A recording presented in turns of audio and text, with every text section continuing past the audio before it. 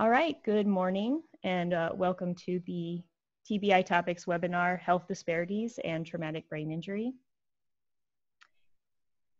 We appreciate everyone for joining us this morning. Uh, so this is a joint project of the Harborview Injury Prevention and Research Center and the Washington State Department of Health.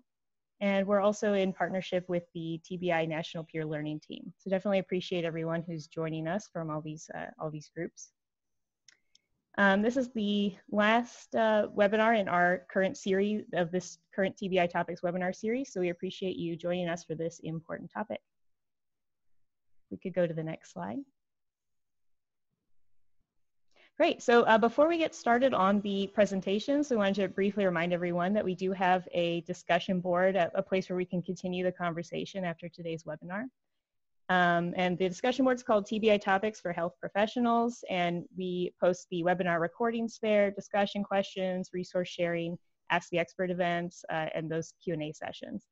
Um, so this is a great way to continue to share resources, resources or share your thoughts and ideas um, following the webinar. And the goal is for this to be kind of a place for people to interact and, and build relationships, uh, people who are working in TBI across the country. Let's go to our next slide. So um, today, uh, immediately following the webinar, we invite you to come participate in a, in a discussion with other attendees from the webinar. We've got two discussion questions uh, that are posted, and of course you can post other questions and your own thoughts and responses. So the two questions we'd like to uh, consider today are, in what ways is your organization working to promote health equity, whether that's in TBI or in other um, fields? And then how are communities impacted by health disparities in TBI currently part of addressing those disparities and how could they be? So how, how could some of these communities uh, be a part or be included or be a foundational piece in addressing health disparities and building health equity? And our URL there at the bottom is tbi-topics.boards.net. And you'll also get an email near the end of this webinar that has the direct links and all the instructions you need to participate. So hope we'll see you there. All right, and let's continue on and we're gonna get started with our first presentation today uh, by Dr. Megan Moore, um, who is a TBI and health equity researcher and the Sidney Miller Endowed Associate Professor at the University of Washington School of Social Work. She's also a core member here at Harborview Injury Prevention and Research Center. So thank you very much for your time, Dr. Moore. Thank you. Um, I, I am really glad to be here to discuss uh, traumatic brain injury disparities and strategies and recommendations for addressing disparities.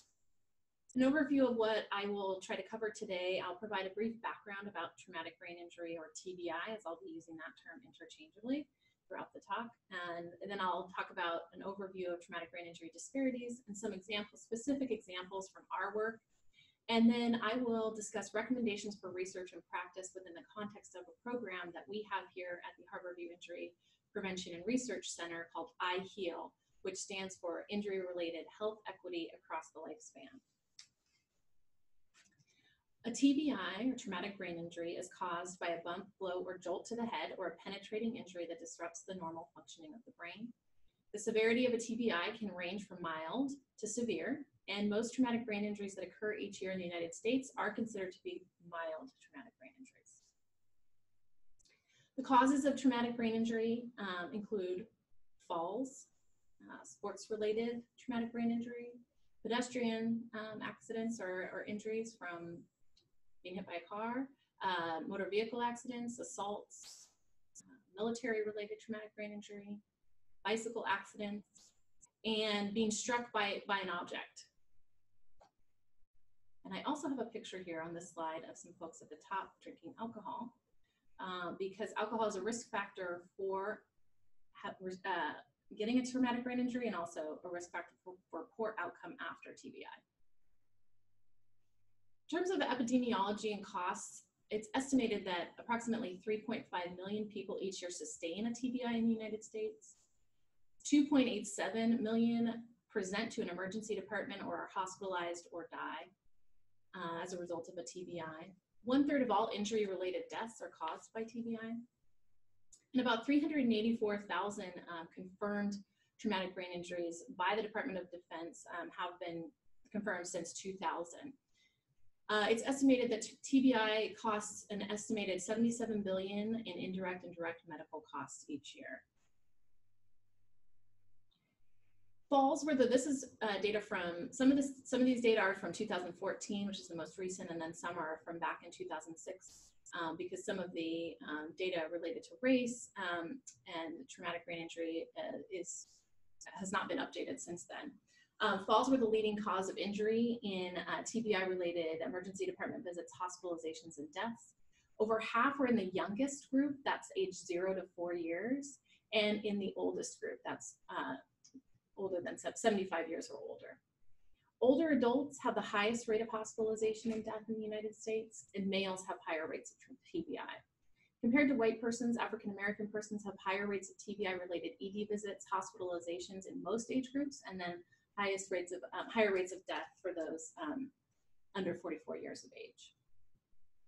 In terms of outcomes, um, cognitive deficits, patients report recall information processing speed, attention, and executive functioning difficulties, impaired physical functioning, mental health symptoms and behavioral problems result, can result after TBI, and patients report headache, fatigue, sleep disturbance, and irritability. In terms of outcome disparities, uninsured individuals have poorer outcomes. There are racial and ethnic disparities in mental health and functional outcomes, and rural urban disparities in outcomes for children, as well as in rates of TBI uh, for children in uh, rural areas. Compared to non-Hispanic white children, Hispanic children experience disparities in long-term disability. And that's, uh, that uh, data comes from uh, work that's been done here at the Injury Center from our colleague Nathalia Jimenez. So I thought I would um, provide that overview and then give you a few specific examples from our work. Um, we've focused here on trying to understand um, TBI service access and utilization as, as a potential driver for some of those outcome disparities that I just mentioned. One study that we conducted, um, we in that study we looked at the availability of outpatient rehabilitation rehabilitation services for children after TBI, and we were really interested in the differences in service availability by language need and insurance status. So we developed a comprehensive statewide database of pediatric providers, services, and geographic locations in Washington State, our state here. And what we found um, was, was very uh, disturbing in terms of availability of access to services. So what you see here in this table is that bottom, where the arrow is pointing at the bottom row, that's the total pediatric rehabilitation services. And that first column is the number of uh, services provided to children and they who the children overall, so all services accepting children. Then as you move to that second column, that you see the, the drastic drop in availability for services that accept children and also accept Medicaid insurance. And then the third column, you see another drastic drop to 26%, and that is services that accept children who require language services, so language interpretation, either the child or their family required language um, services. And then that last column, um, the most disadvantaged group, children who have Medicaid insurance and also who require language services. And I want to point out here, uh, the most egregious uh, lack of availability is in mental health services. So you see for children um, with Medicaid, and who require language services, um, only 8% of the total uh, services available in the state were they were eligible to. They were even their insurance would even be accepted or their um, would be able to provide services in their language. So what we drew from this is really there's a need for standardization of care transitions to improve these linkages, certainly, but also we really need to think about policies to train and incentivize providers to serve children with Medicaid and who, who need interpretation services because as you see from this, this is availability of services. So we can do great transitions and have great plans from the inpatient side, um, but when, when they're going out to the community and their insurance isn't accepted or the services don't provide what they need, that's a that's more of a systems issue that we really need to um, focus on from a policy level. So we also, you know, looking at that and sort of understanding the um, service, the lack of services available for mental health um, for children after traumatic brain injury, we decided to look at racial disparities in outpatient mental health service utilization amongst children hospitalized for TBI. So not what services were available, but what were they actually using. And in this study, we used MarketScan Medicaid longitudinal billing data. Um, that's a data set um, that many of you would be familiar with that has good longitudinal integrity. It's complete payment information, um, including payments from both the benefit plan and the patient. It has a privately insured um, data set and then a Medicaid uh, data set, and that's the one that we used was the Medicaid. We included um, persons uh, less than 20 years of age who were hospitalized with a TBI from 2010 to 2014. And these were children who were Medicaid enrolled prior to their, uh, one month prior to their TBI and then continuously enrolled for 12 months after so that we could track their utilization for that 12 months. Um, we looked at the mental health service use at TB, time of TBI hospitalization, three months and 12 months post-injury. And a total of uh, I hope you can see that, yeah. A total of 5,674 5, children were included in the study. And what you see here is the proportion of children receiving mental health services really exhibited an upward trend in service over time across all the racial groups. However, utilization was persistently lower for children um, who identified as non-Hispanic, Black, Hispanic, and children in the other racial group compared to the non-Hispanic white group, which is the top line.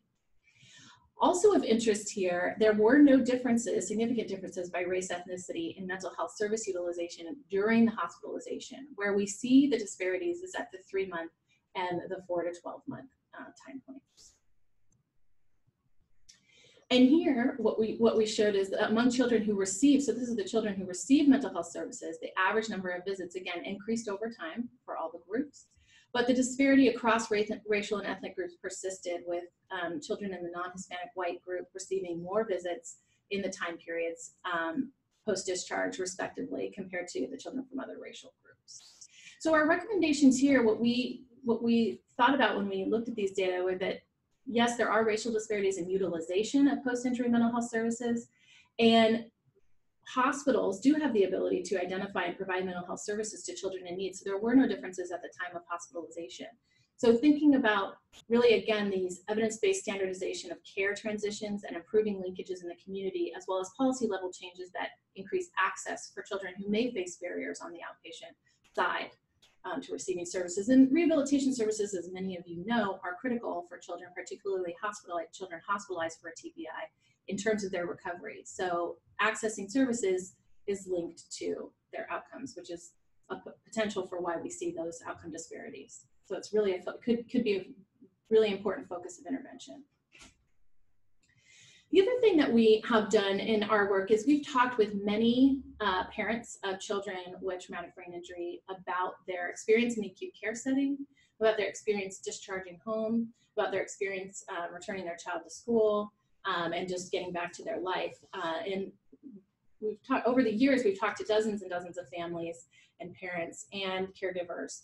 And we're really working, using all of that information to develop a family-centered care, care model um, after pediatric traumatic brain injury. And I'll tell you just some of the main findings and conclusions from that work.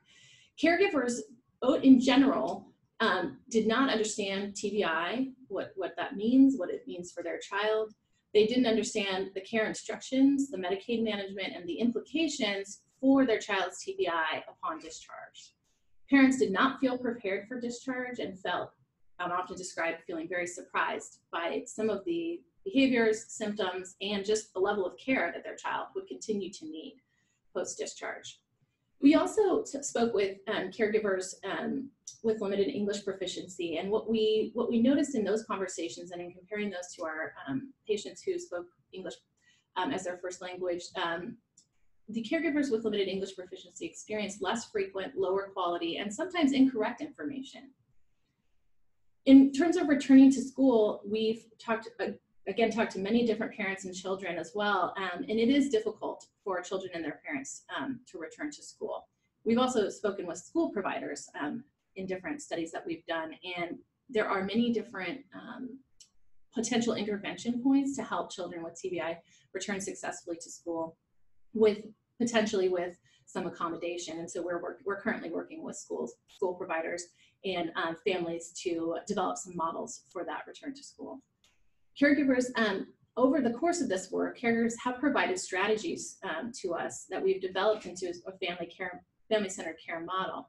And the sort of three core areas where they that they've talked about that we that we feel like are uh, really good potential intervention uh, points in the acute care side are communication, capacity building, and care coordination. So we've developed over time this, what looks like a pretty busy model, um, but at the top what you see here is the patient provider and family characteristics that they, they come in with, um, as well as situational characteristics. They have, a, they have an injury. And then in the middle there, you see the intervention domains that I just that I just talked about, communication strategies, coordination strategies, and capacity building strategies for providers, parents, and for the facility. And that's happening at the, at the acute care level and in the transition from acute care to outpatient care. And we think that impacting in those three areas can impact health literacy and development and also ultimately the health outcome of the child. And so what we're doing right now is we've, we're develop, using this uh, model and this sort of theory of change to develop intervention models that we are um, planning to test in an acute care pathway that we have here at Harborview for children with severe traumatic brain injury. So I'll talk now a little bit about some recommendations and some uh, plans that things that we're working on here um, to address some of these disparities through our injury-related health equity across the lifespan program or IHEAL program. The IHEAL program has sort of three core components, research, community engagement, and education and training. And all of these things aim to achieve large scale, large scale and sustained impact um, towards health equity and injury. In terms of our research, we're really um, focusing our effort, efforts on leveraging and expanding our existing collaborations via grant writing and collaborative research. We've co completed a scoping review of injury disparities, not just traumatic brain injury, but all, but all injury disparities. And using that, we've um, we've developed um, some some plans and some strategies for moving forward. We are working on a grant currently, an NIH-funded grant to improve the health equity data collection in our national trauma data system, which is a key, will be a key um, component to improving our, our understanding of disparities. As I mentioned, um, some of the, the data related to race and ethnicity and other health equity variables is limited in our national data collection system, so we're working to improve that. Um, as far as community engagement, we've developed a community advisory board here at the center, and we are beginning to work um, on utilizing the community advisory board to help guide and move our work uh, forward. In terms of our education and training, we've embedded the health equity content across the curriculum and training programs here at the center. And we really, I wanted to end with sort of two slides that really hopefully can ground, ground our conversation and discussion in terms of understanding community, uh, conceptual model for community-based solutions to promote health equity. So this is from National Academy of Sciences. Many of you have likely seen this. It's a few years old now, um, but it's it's a it's a model of um, a, a, sort of strategic model for community-based solutions aimed at health equity. It's not injury specific, but what you can see here is that community-driven solutions are sort of encircling the whole process, and then they have the focus on the social determinants of health in the middle, and it's really reminding all of us that the health, health systems and services, which is that sort of in the top right there, um, that is one part of the whole picture of this more, more social, social ecological model in understanding health equity and how we actually impact patients' lives.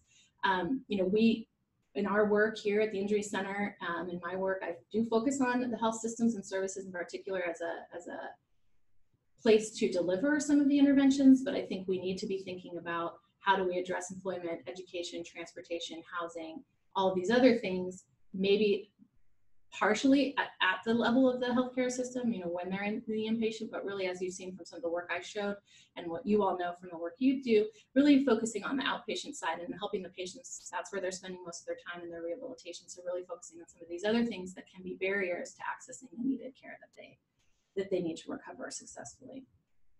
And I'll just briefly, that's we've um, expanded that National Academies model and applied it directly to um, injury, the field of injury. So what you see here is the top half of the wheel describes the factors that contribute to inequities in injury incidents, treatment, and outcomes. So discrimination is the overarching process, as you see at the top there, by which an individual's privileges, communities, and opportunities can result in inequitable injury um, risk and also care. And then the bottom half of the wheel describes specific solutions to ameliorating injury-related health equities across the lifespan. So, so as you can see, solutions that are community-driven cut across the research, practice, and policy to result, to result in the most impactful um, resolutions. What I also want to point out in this model is that the solutions um, really are at multi-level here. So we're looking at both at macro level solutions, meso level solutions, and micro level solutions. And so I really think that I, I wanted to end with this with this model to really help us think about where your work may fit into either the micro, meso, or macro um, layer of this, and that all of those layers are important if we're really, as a, as a community, if we're really focused on um, achieving health equity and injury. And I want to acknowledge all the collaborators and the funding sources. And we are then going to move on to our next speaker, and I will briefly introduce um, Miss Maria Cole. Uh, she is a case manager at um, the Baylor Scott and White Institute for Rehabilitation in Dallas, Texas. She's going to talk with us about navigating health disparities in the BRITE project. She'll tell us more about the BRITE project, but I can say briefly the BRITE project is a um, is a PCORI, uh, Patient-Centered Outcomes Research Institute funded project um, to improve um, collaboration and um, transitions of care for patients with traumatic brain injury. The principal investigators are Jesse Fann and Jeanne Hoffman, both here at the University of Washington. Maria, I will let you take the mic. Thank you very much, uh, Dr. Moore. That was an uh, awesome introduction. Uh, just to clarify, do you guys want me to run the slides from here? Is that is that correct?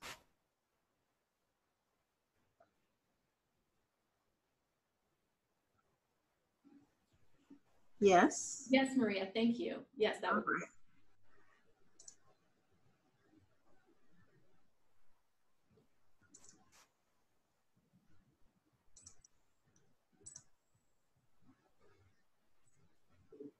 Great. Can you see my slides? Yes. Awesome. All right. So as uh, Dr. Moore mentioned, I will be speaking about the uh, BRITE project, which is the brain injury rehabilitation improving the transition experience uh, study. I am the research case manager over at Baylor Scott and White Institute for Rehabilitation, which is in Dallas, Texas. Uh, this is part of a uh, PCORI funded grant. And what I will be discussing with you today is uh, the study itself and talking about what the behavioral components of this uh, case management intervention are, uh, specifically what the roles of uh, TBI care managers do. And from here on, we'll call them uh, TCMs, myself included. I'm at the TCM at the Baylor site, and also to talk about those engagement strategies uh, for those individuals who are experiencing some of those disparities in care uh, that we already had that great introduction about.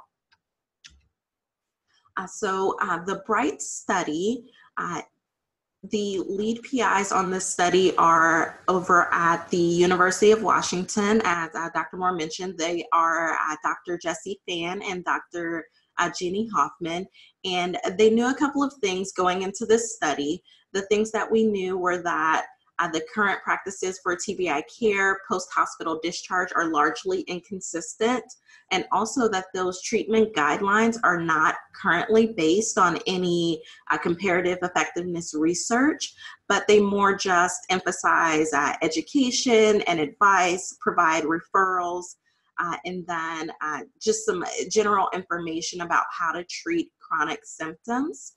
Um, some other things that we know that are uh, positive and leading are that uh, the telehealth models for case management can really help to overcome barriers to treatment for individuals, uh, patients, and families and improve their quality of life after uh, TBI. So this study then uh, took that information and wanted to look at what the standardized discharge care plan is as as is right now and look at it compared to an optimized transition care plan. And specifically, we're looking at uh, participation and health related quality of life.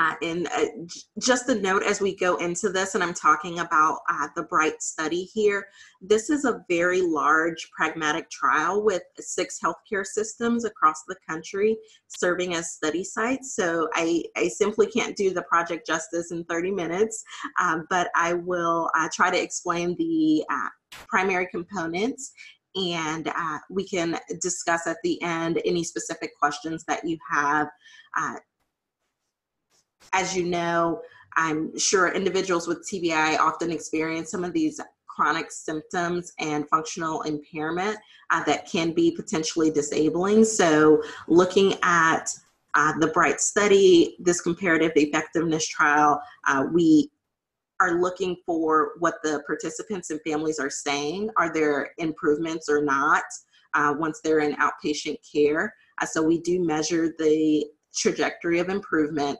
uh, across the first year post discharge at three, six, nine, and 12 months post discharge. Uh, we do also look at uh, differences in healthcare utilization between that standardized discharge care arm of the study and the optimized transition care uh, arm of the study. Uh, we also look at caregiver burden and since our study began, we have roughly uh, 300 patients across all sites and about 150 caregivers uh, across all of the sites. The TCM start working with them about one week post discharge. Uh, so this is what the standard contact schedule looks like in the, uh, the intervention arm. Uh, so in the first month post discharge, the contacts are about weekly. And then in the next couple of months, they uh, decrease to biweekly contact.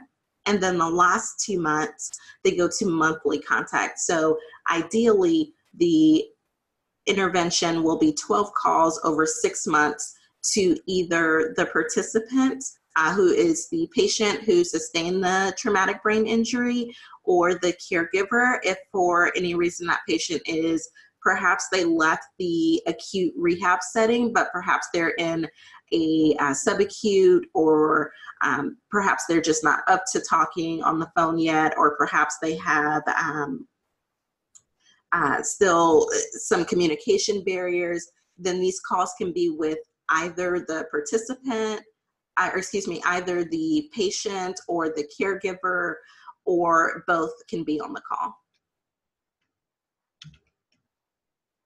Uh, the contact structure, so for each call, it's very important primarily to develop rapport with the uh, family that will be on the call uh, to also on that first call and then for the first several calls looking at the discharge plan uh, there's a specific needs assessment that is employed on each call there's also uh, a list of needs then from that that are uh, developed and then prioritized and that's a conversation really between the the tcm and the patient and caregiver as you kind of rank what's most important uh, then, of course, it's starting to address some of those needs. So that can involve uh, providing or facilitating access to resources, information about community things that are available, maybe getting them back into the hospital system depending on what those needs are, and also reviewing at the end of each call what the follow-up plan is. So then what uh, will be discussed on the on the next call, and then the TCM would organize any tasks that needed to be complete. So if there was a referral that needed to happen or anything like that.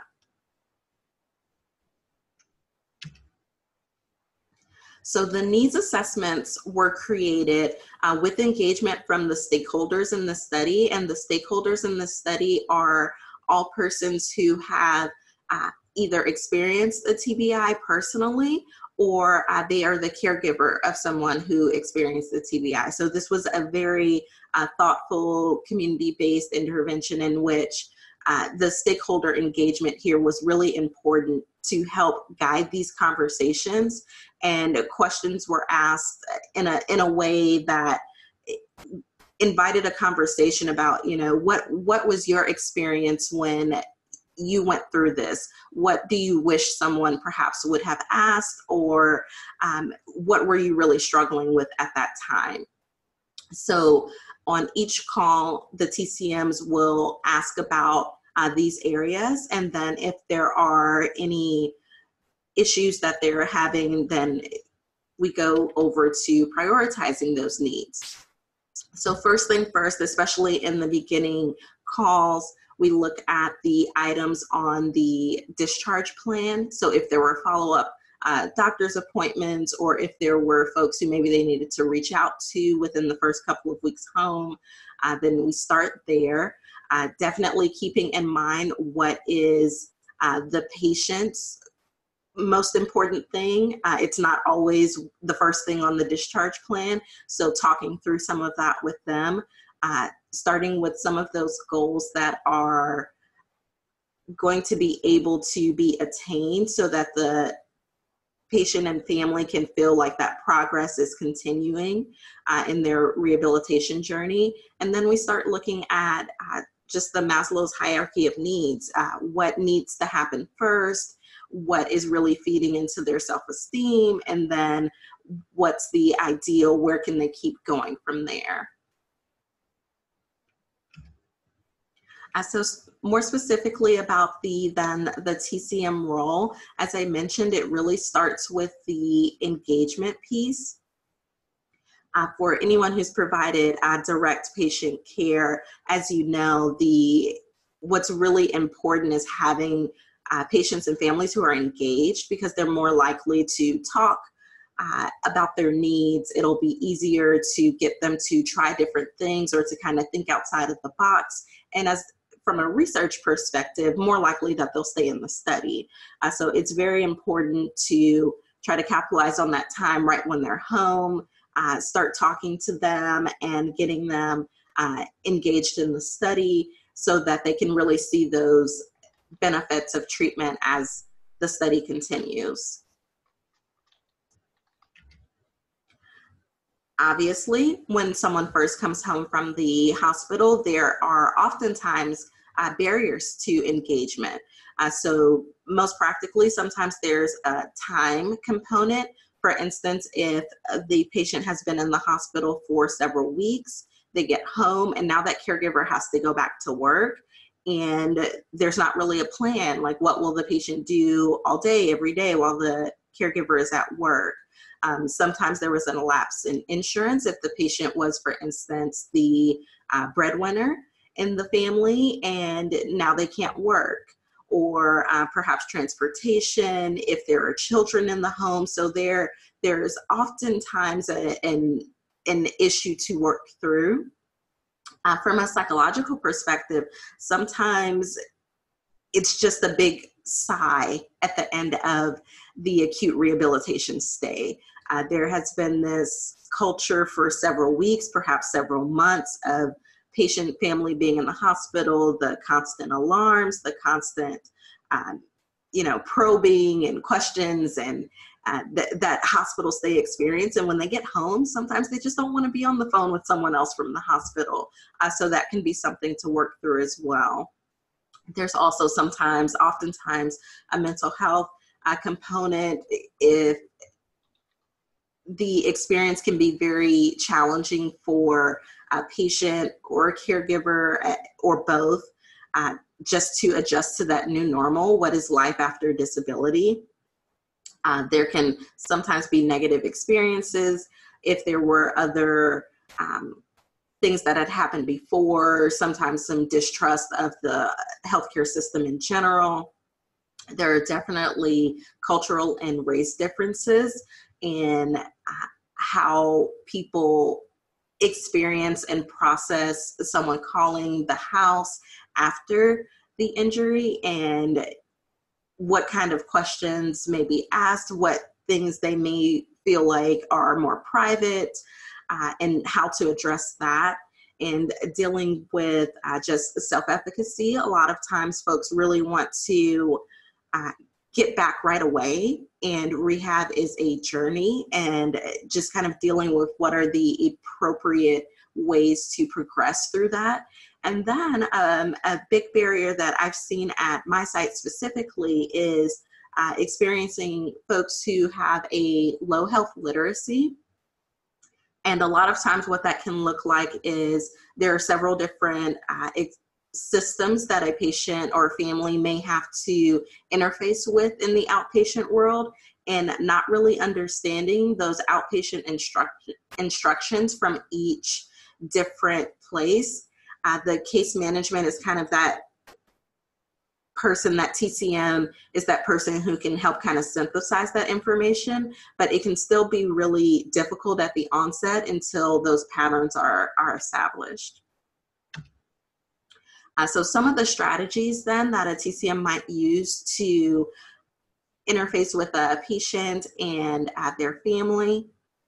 The OARS is a pretty popular one, uh, which is just asking those open-ended questions, uh, affirming the patient, uh, reflecting, so uh, ensuring to express empathy and being sure that it is authentic, and then just kind of summarizing and uh, feeding back into the conversation and just making sure it's not uh, something that is a, a power structure, but very much a, a conversation and just kind of figuring out how can the TCM best help the patient and family to progress in the rehab journey.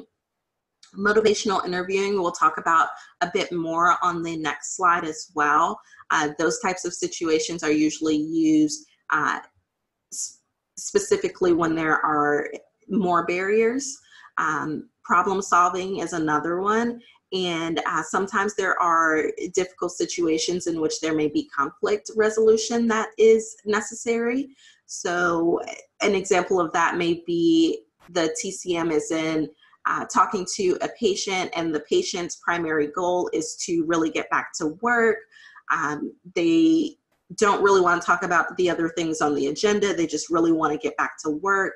And the caregiver's primary goal is to really increase the patient's ability to do things at home. So maybe getting back to doing laundry or fixing their own meals or um, something of that sort. And so there's a conflict between what the goals are of the patient and what the goals are of the caregiver. And the TCM um, kind of has to navigate in between those two and figure out where there's a, a happy medium or perhaps where there's more priority and uh, helping the patient and family through that situation. And then uh, coping, of course, which we already mentioned. Uh, there may be physical changes. Uh, lots of times there are cognitive changes after TBI as well, and just dealing with what that new normal is. Uh, so, motivational interviewing is most often used when uh, there is a specific barrier with the, the patient. And some examples could be perhaps they're not answering the phone, or perhaps there have been a couple of uh, calls in which the TCM said, okay, let's get this done by next call. And then next call, it's still not done. And said, oh, okay, no problem. Well, let's get it done by the next call and then it's still not done. Um, and kind of trying to figure out what is the best way to increase uh, the likelihood that the patient will follow through and will have those uh, resources that they need. And perhaps it is something that is more, um, they don't quite understand why it's important. And starting there could, could definitely help as well. Uh, sometimes there are patients who just say everything's fine, and perhaps everything is fine. But oftentimes, when uh, patients say, "Yeah, everything is fine," it's um, there are other things that could be worked on. So, getting a caregiver involved or another healthcare professional who's working with the patient and family may be an appropriate move there. Uh, sometimes patient families are just resistant or guarded, um, defensive, definitely sometimes um, hostile, maybe because they're just tired, they've been through a, a big ordeal. Uh, so motivational interviewing may be mo- used at that point. Uh, sometimes there's just a, a shutdown from the patient or family side and they just think that the problems there this is just life and perhaps that's not the case or maybe there's just not a confidence uh, established yet with the TCM and they just don't feel that the TCM can be effective in making change for them. Uh, so another strategy that could be used in some of those more difficult situations are uh, the ABCs of problem solving, which is uh, assessing, brainstorming, uh, then choosing a solution, developing a plan, uh, evaluating, which is a, a big important piece of it. Did it work? If it didn't work, then you start the ABCs over again. And then uh, you flex the plan as needed if perhaps a couple of things worked the way that they were supposed to, but something was still missing. Uh, so then you would continue to make little tweaks to the plan until the uh, patient and family were able to see the success that they were looking for. Uh, other engagement strategies that may be used uh, are different things that would address the cognitive changes or sometimes uh, behavioral changes or communication changes that occur after TBI. Uh, all of the strategies are evidence-based strategies that are uh, already known in the post-TBI uh, research world about best ways to help with adjustment to disability.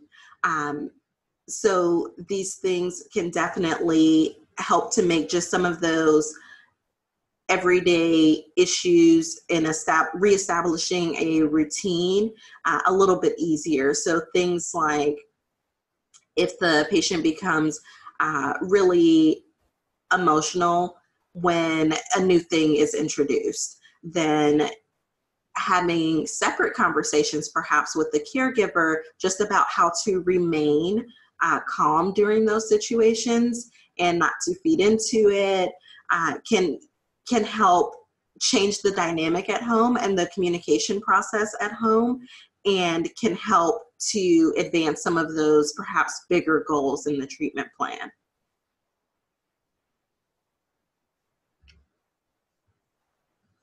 So far what we have learned in the study are that uh, the higher needs patients often require more than those 12 calls. So patients who are low income, who have low health literacy and oftentimes low education really need more uh, touches to work through uh, some of those barriers into getting established outpatient providers uh, post-injury. Oftentimes Medicaid eligible patients as well need more assistance even once they have their Medicare, or excuse me, their Medicaid case manager, they oftentimes still need frequent touches. Uh, coincidentally, that kind of goes hand in hand with uh, the prescribed number of calls may need modification. There are patients who leave the hospital and a couple of calls in, they have a really strong support system. They have uh, established outpatient providers. They don't really need a lot, uh, and some patients really do. Uh, and then I've talked about a bit just kind of navigating those barriers uh, in between the patient and caregiver and what their different needs may be. Uh, some other things that we have learned so far are that there are emergency needs that come up. And again, those would need more frequent touches.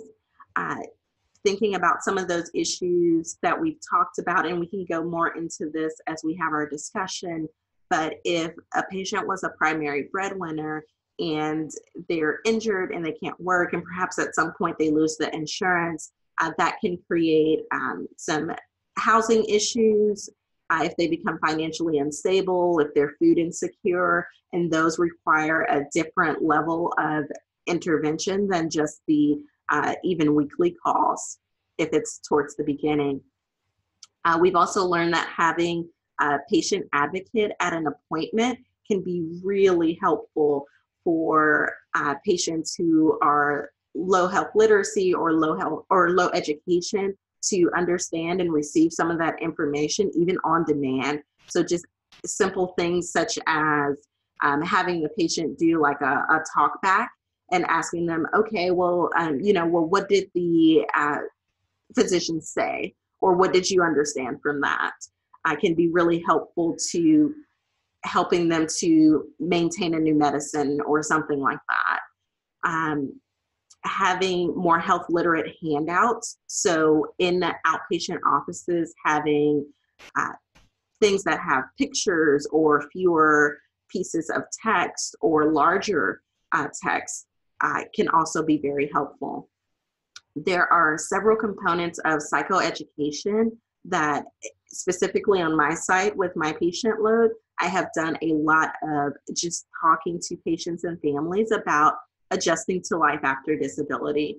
So, how to overcome some of those communication challenges, but then also just really becoming okay with what that new normal is and changing the perspective from not looking at it as necessarily limitations, but just new things that will be embedded in life uh, going forward. Uh, also, if outpatient offices have social workers in their offices that TCMs can connect with, that can really help to not only decipher information, but sometimes cut down on healthcare utilization if there's someone that they can just call and ask a question to versus having to come back into the office or uh, make another appointment for or uh, go to the emergency department or something like that. Uh, also, having a nurse educator can help cut down on some of those unnecessary visits. Uh, so, some of the challenges that I have experienced and that we've also experienced across all of the sites are if a patient doesn't have a primary care provider to go back to in the community. Sometimes that means they came in and didn't have a primary care provider. Sometimes that means that they lost uh, insurance in the process and then there's no longer a primary care provider. Uh, definitely, loss of insurance can be an issue in trying to navigate some of those healthcare systems in Texas. Uh, we don't have, uh, we have one of the lowest uh, Medicaid insurance rates, so not a lot of people have state insurance. Uh, it was a non-Medicaid expansion state, so it it definitely is more restrictive as far as state funded resources go.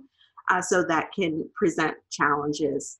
Uh, if a caregiver passes away, if a caregiver uh, decides to no longer be involved, uh, there was a, a, situation I had uh, where a patient got divorced shortly after the injury, and that definitely presented some issues if a patient has very low social support, uh, that can, all of those things can really cause issues when it's time to hand off, if there's no one to hand off to, obviously, but if there are certain indicators that this patient may not fare very well, then it, it can be very problematic at the end of six months. Then there's kind of what next. Uh, so, some things that we know are that those long-term supports will be necessary for those who have not made significant progress during the intervention.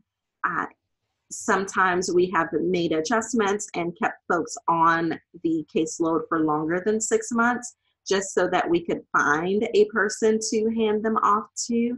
Uh, we definitely try to be proactive as well so that we can work through the intervention to make sure that person is identified for the end of the intervention. Uh, but there, there are obviously those challenges. Uh, we have also experienced some successes. So uh, we've developed these engagement strategies. Lots of them are evidence-based. Lots of them that we have also learned uh, during this trial. And it, because it's a pragmatic trial, having that ability to make little tweaks when we know that a patient, for instance, who is very low income will need certain things. Uh, that has been very helpful uh, to build trust and develop rapport with uh, patients and caregivers. Across all the sites, we have made over a thousand calls uh, to patients, caregivers, and uh, their healthcare providers during the first uh, six months of the intervention. Uh, also, we do know and have some feedback from our patient caregivers uh, from their assessments and from just anecdotally from the TCMs as well. Uh, we do know that this intervention is averting some of the barriers associated with uh, transportation uh, specifically and helping to build uh, those community that bridge for those community resources uh, between the patient and caregiver once they're back in the community. So I believe at this time we are transitioning to uh, questions that you may have, and I believe you're typing the questions. And I just uh, uh, want to also give a thanks to the TCM team. There are several across all of the sites. I believe there's eight of us now, uh, and definitely our lead PIs. Great. Thank you very much, um, Maria, uh, for your presentation. And we are going to go into our joint Q&A session. So um, if you're a user uh, watching the webinar uh, on your Zoom meeting, either at the very top or very bottom of your screen, you should see some tools. And one of those is Q&A. And that will open up a box where you can type some questions um, for our speakers. So you can direct it to one or both. And our hope here is to have a, a conversation um, and to, uh, to further our discussion here with our speakers. Um, so I'm going to start us off with the first question, which is to both of you, which is what do you think we need to learn next? Like what's the next areas where we need to build our knowledge to better understand and address uh, health disparities in TBI? Well, I think in terms of uh, building building knowledge, I think we have identified many disparities both in traumatic brain injury and across the injury spectrum um, I think where the field um, is moving and is um, number one, um, collecting better data um, and better longitudinal data for patients to, to track them long term so we know what's happening to patients um, in different with different identities and in different groups uh, over time and we're, we're working on that. I think the other thing like we were talking about and as Maria you know, talked about in her, her presentation, you know, really focusing on the community and community-based solutions and social support networks um, that patients are already embedded in and working with community um, in order to address some of the disparities that we that we know are there.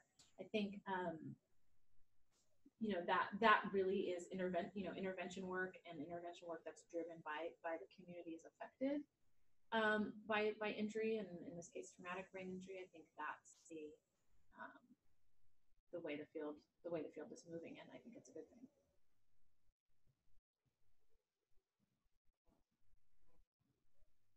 Great. And Dr. Moore, when you're responding, I'm getting a note that you're a little bit hard to hear. So if you could um, uh, be closer to the mic or a little bit louder, um, I think that would help everyone hear your responses. I can. Great. Thank you. Um, Ms. Cole, anything to add on what you think we need to learn next in order to, to help better address health disparities, maybe related to the BRITE project?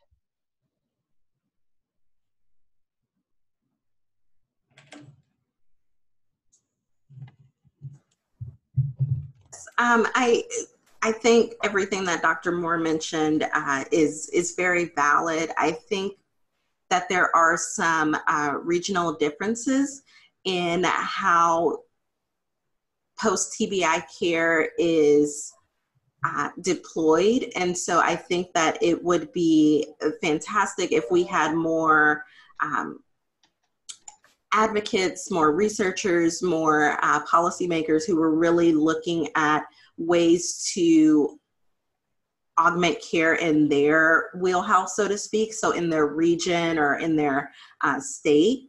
And I think that that would help. But there is a also a lot of uh, general information that I think is a great place to start.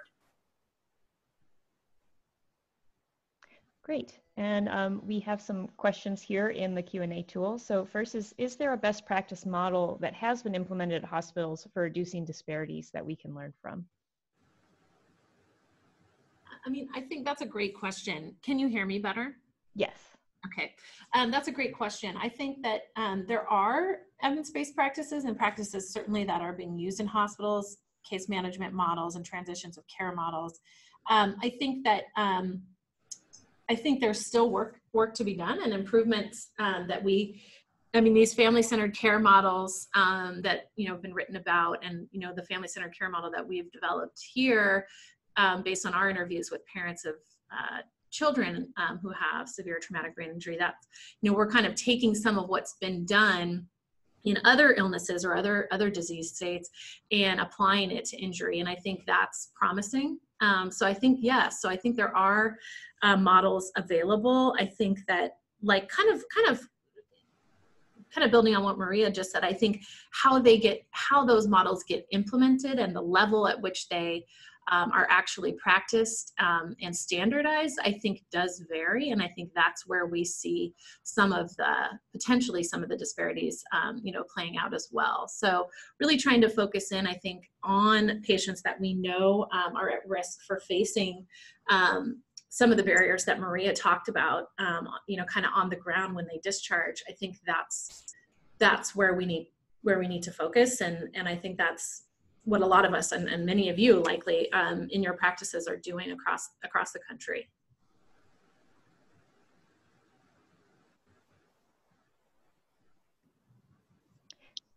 So another question we have is, um, why is this topic not more of a conversation in TBI, given all the attention to health disparities overall?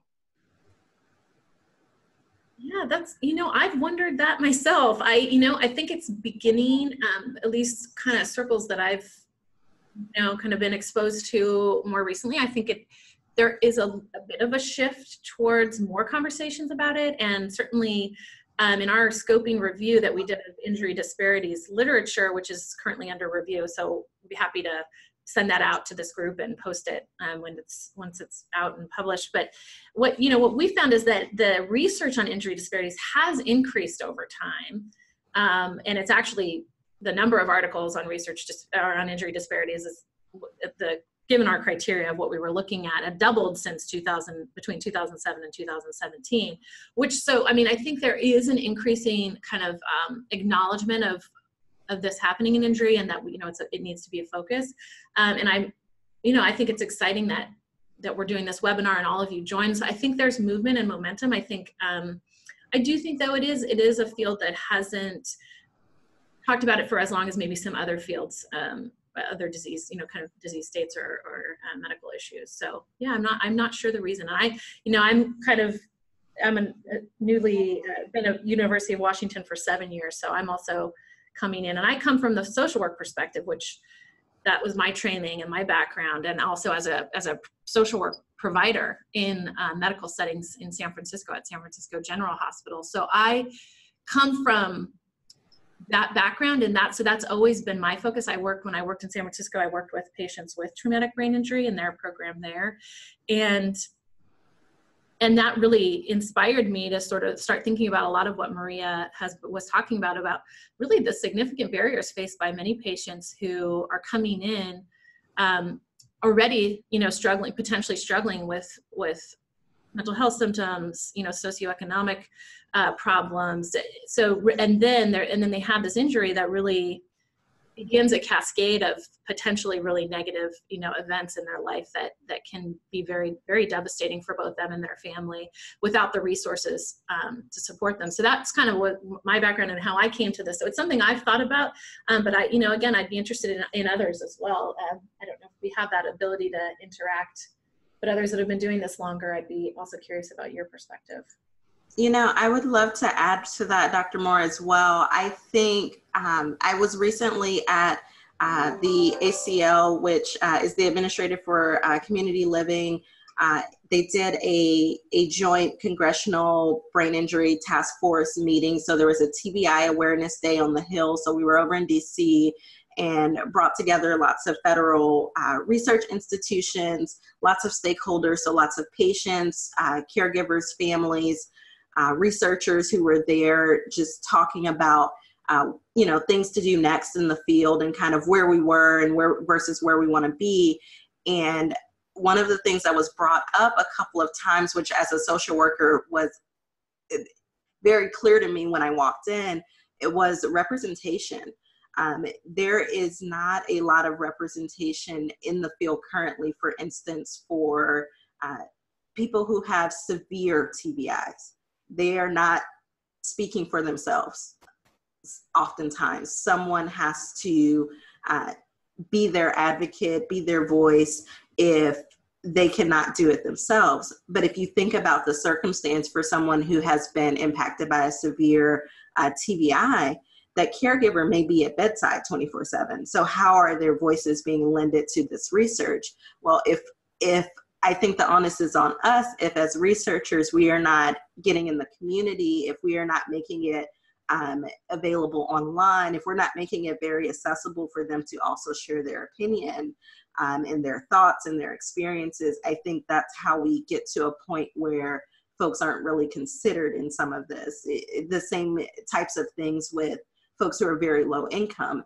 Uh, there's lots of research across, just across the spectrum, it, disability and um, other things that are studied. Folks who are living in poverty are very unlikely to participate in research studies. They have other priorities. Um, and so how are we making this accessible and what are we what are we doing and what tools are we implementing to make it uh, easy and also um, being very thoughtful in that process. Thanks, Maria. Really great points. Yeah, and, and that I think that's a great point, and it leads a, a little bit, maybe indirectly, into our next question that we have, um, which is a question on: Are there websites or resources um, that either of you recommend that have evidence-based post-engagement strategies to engage individuals with TBI? Maria, do you want to talk a bit, bit about that? Sure. So I use um, a lot of times it's just the uh, the Knowledge Translation Center, and I I use a lot of that because they're to work with the patients because their um, information is oftentimes very health literate. Great pictures, not a lot of text on many of those things. Um, outside of that, I think that it's important to maybe do some of the classes maybe could be online. Um, there are different certificates that you can have to become a brain injury specialist and things like that. And i think being able to do some of those things online if they're not um, currently offered don't want to step on anyone's toes um, i think that would be great as well. But i, I really don't think that it's a, a one and done type thing. We talked about that a lot at the Awareness Day as well. Um, I really think that the training is ongoing um, because there's that eh, saying in TBI if you've seen one TBI, you've seen one TBI. And I think being able to engage with individuals, being able to be empathetic and thoughtful about um, how you are working with families, I, I don't think that you can do that necessarily one time. Um, so I do think that there are there are some resources online but i do think that it also has to be just ongoing. And i don't know that that resource yet exists uh, virtually but perhaps someone will do that. Another area for development. Yes. Um, great. Well, we have another question here with, um, although the discussion here focuses on TBI treatment and the disparities that are occurring after an injury, do any of your injury prevention specialists experience disparities in prevention education around TBI and MTBI?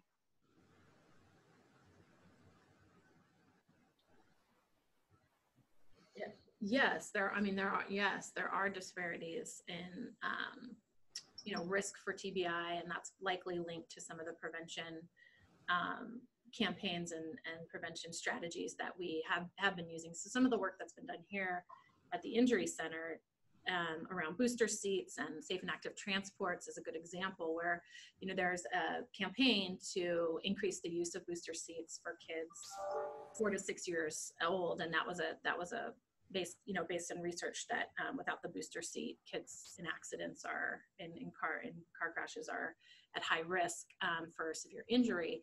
And so that's what uh, you know that was one um, big campaign that was done here and what we realized some of the researchers realized in doing that is that it wasn't reaching some of the communities um, that were being affected and that uh, you know the clinical on the clinical side some of the patients that the kids that they were seeing on the clinical side.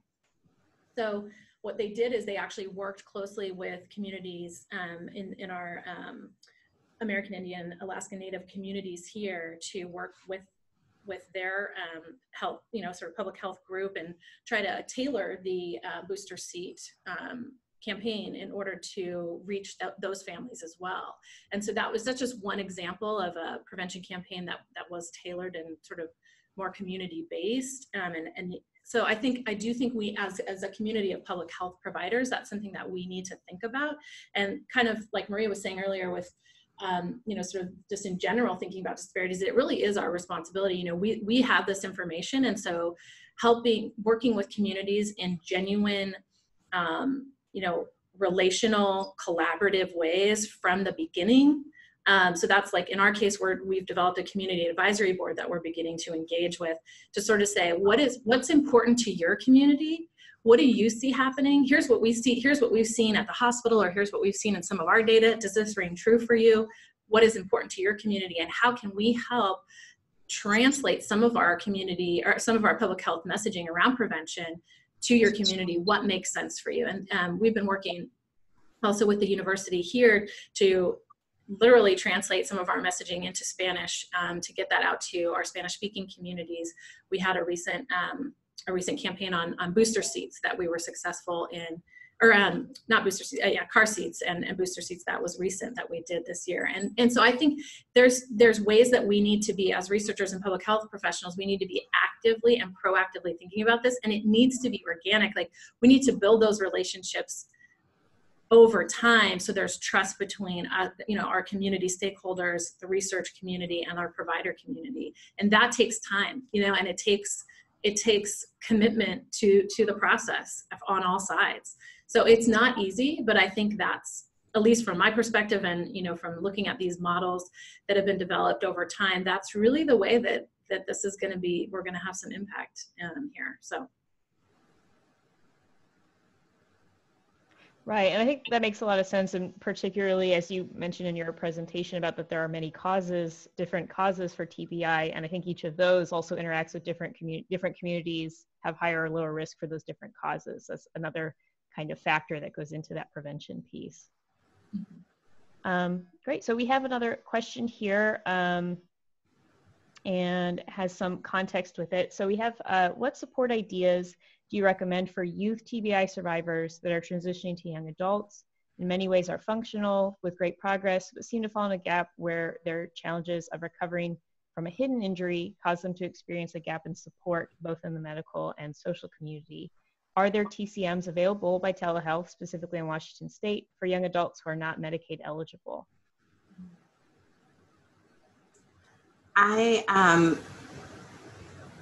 love this question and thank you to whoever asked it because I think that this is the most important part of what we do. If you, even as a, a, researcher period if you publish publish publish and you can't get the information to people it's really um, not doing what it needs to do.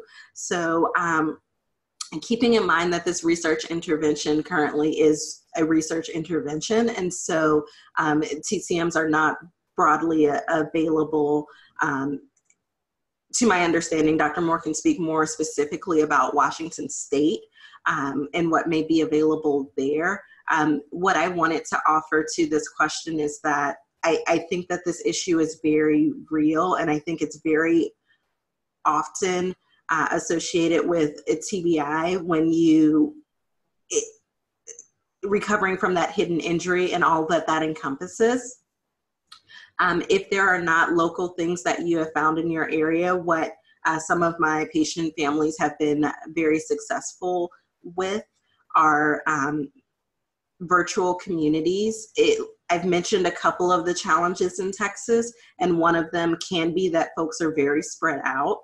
And so many families have come together online. There are a couple of different um, Facebook groups. I know there's also um, a website, and I will look for it here. And if I, I can email it over to uh, Kelsey if I find that info as well. But it, being able to connect virtually for some folks has just helped them to kind of have that community.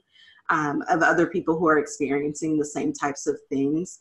And as far as um, looking at different types of, of support, it is oftentimes a really, really hard find. I know that the Brain Injury Association in Washington, uh, specifically, they do um, many kind of public campaigns and different um, activities and try to incorporate a lot. So if you haven't tried that, that may be a good place to start as well.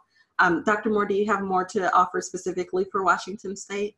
Yeah, I think that's right, Maria. That's where I would start is the Brain Injury uh, Association of Alliance of Washington, um, and they have a great um, website that you can, and it actually has resources on there, but also a a call-in line that you can call to talk with a resource provider who can link to some of the local resources um, or, or as Maria said, potentially vir- sometimes virtual resources that might be useful.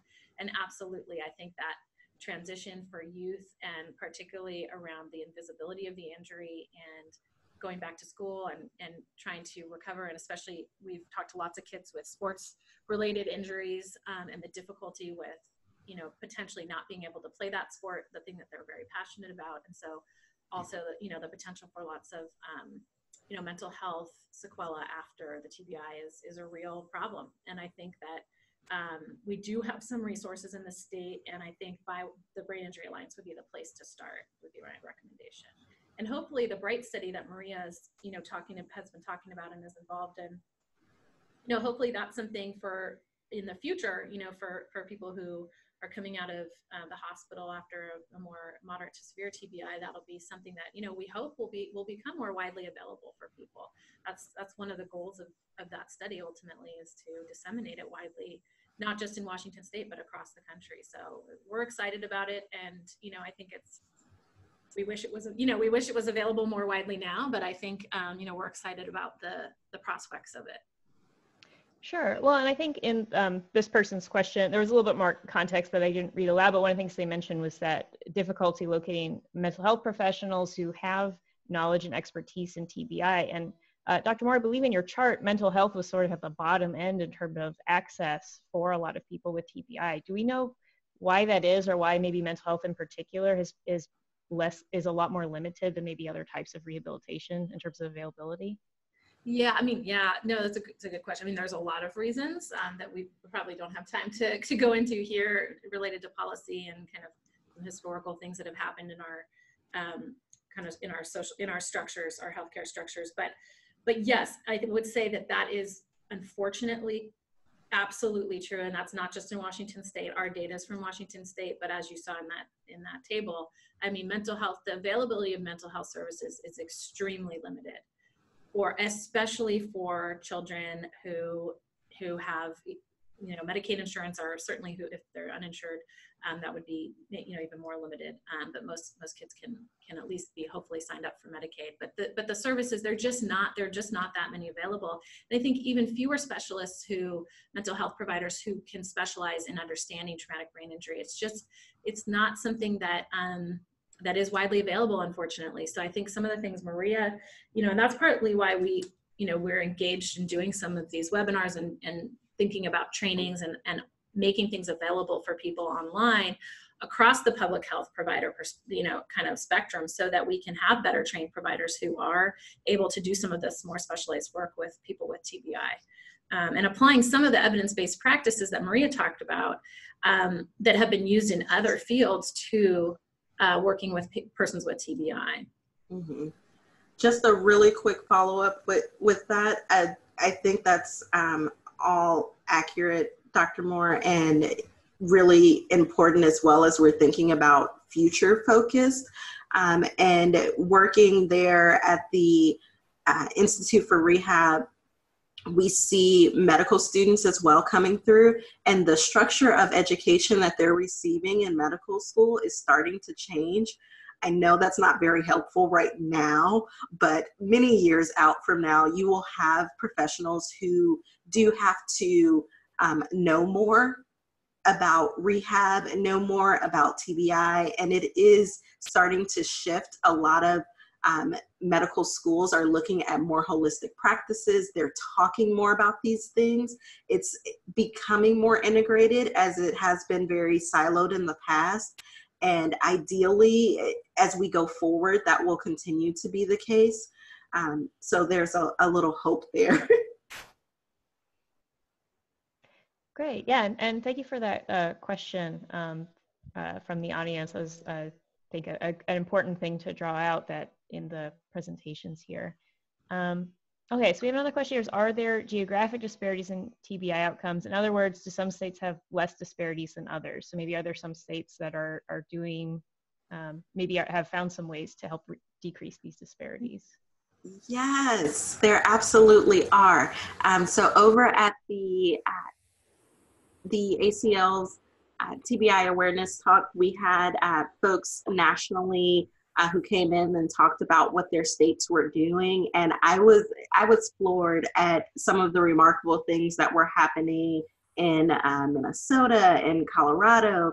Um, their their states' policies are very intentional about the way that they are designed with uh, folks who understand TBI, folks who um, have been impacted by TBI, researchers um, as well, who actually helped the state write for certain waivers so that they could do things like having more funding available regardless of uh, income level for patients and families. They did things like making sure uh, transitional facilities were available for folks who came out of uh, acute rehab. Um, they did things like also making sure that uh, there were more opportunities through a program called vocational rehab, which every state has. But they made sure that there was a TBI specialist who was there in in their each of their counties offices who could, if a person had experience TBI would be routed to this person so that when they wanted to go back to school or go back to work, they would have someone who really understood TBI helping them with that process. Um, so I think that states that have been that intentional around it really do have better outcomes because uh, their policies are structured in that way. Um, geographically, for instance, in Texas, uh, we actually rank at the absolute bottom for folks living with disabilities. So that's not TBI specific, but just folks living with disabilities as far as the number of accessible restaurants we have, um, being able to get funding, um, having eh, access to certain parts of the healthcare system. There are a lot of real tangible struggles in Texas. So yes, you can see that across different different states for sure.